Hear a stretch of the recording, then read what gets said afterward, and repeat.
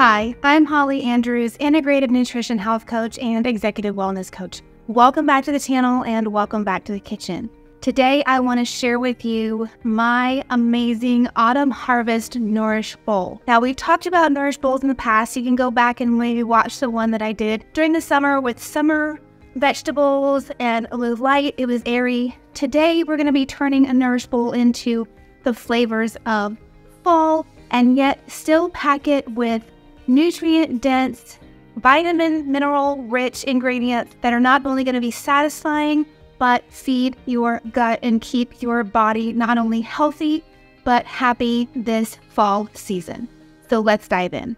All right, this Nourish Bowl is going to start with I have organic red lentils that I've already cooked and cooled just for the sake of time here, but the lentils are full of protein and great carbs that are going to really keep you satisfied. Now, I will be adding some chicken at the end of this to mine, but if you're a vegetarian or vegan, you certainly don't have to. The lentils provide a great source of protein. So, follow the instructions on your package to cook your lentils. Mine took about 10 minutes total, and then, like I said, I drained them and cooled them so they are ready to go. I also have a cup of kale that has been chopped and massaged down with a little bit of olive oil and just a smidge of lemon juice.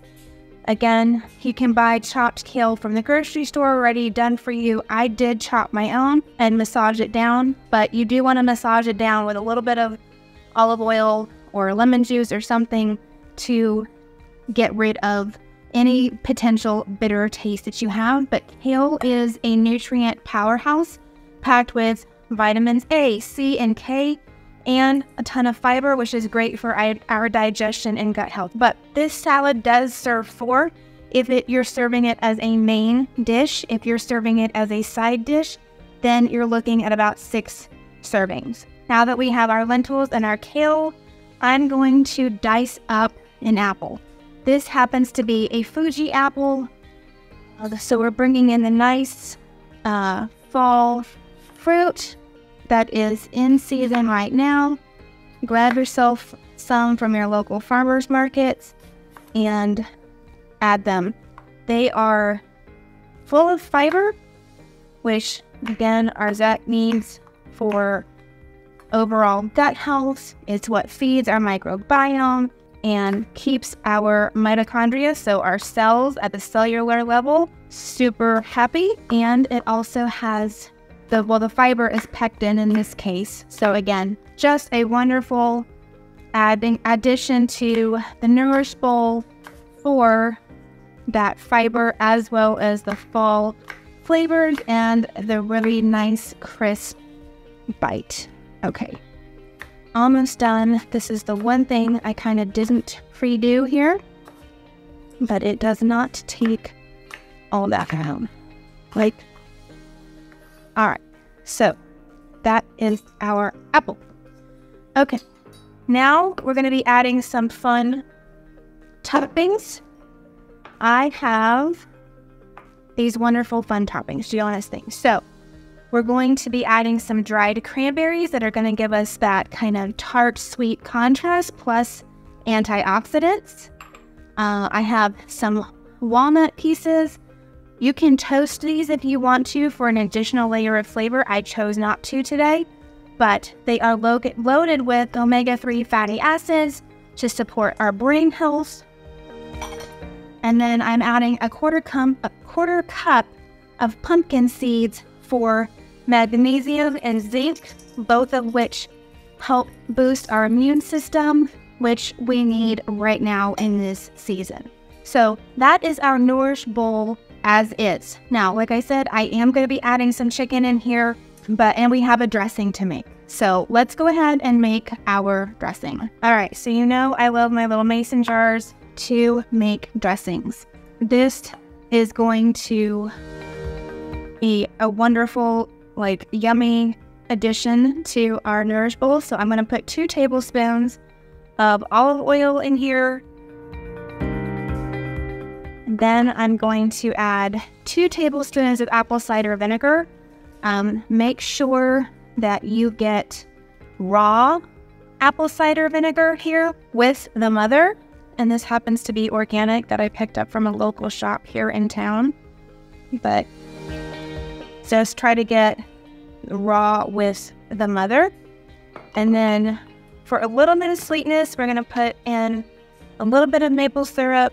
The recipe calls for a tablespoon. I'm not going to do a full tablespoon. And then we need one teaspoon of Dijon mustard here.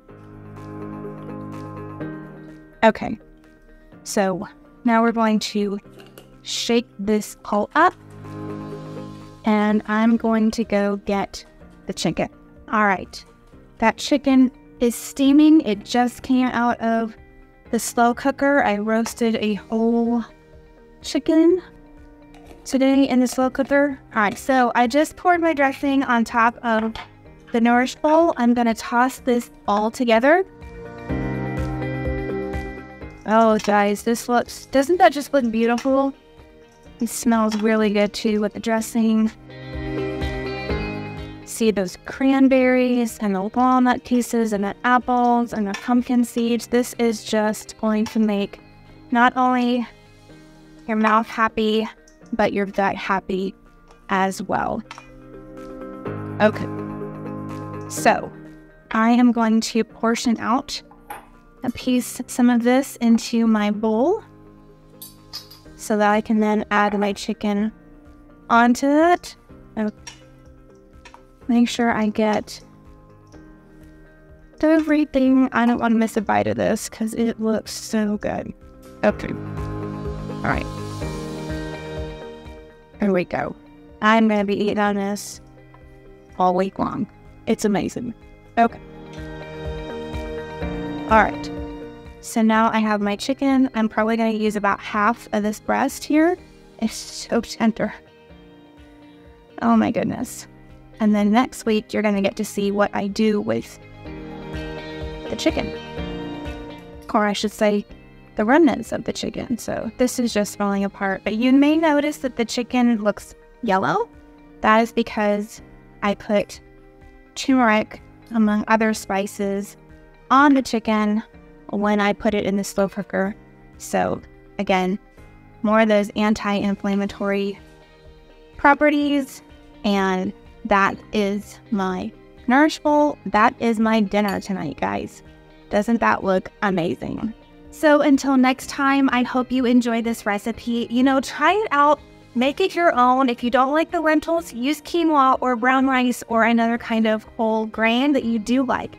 If you're not into apples, pears are a great substitute. They're wonderfully in season right now and would be a great substitute in this recipe. So, you know, play around with it, make it your own, and make it something that you will love and enjoy this fall season. So, thanks for watching. Until next time, I believe that you can heal your stress from the inside out.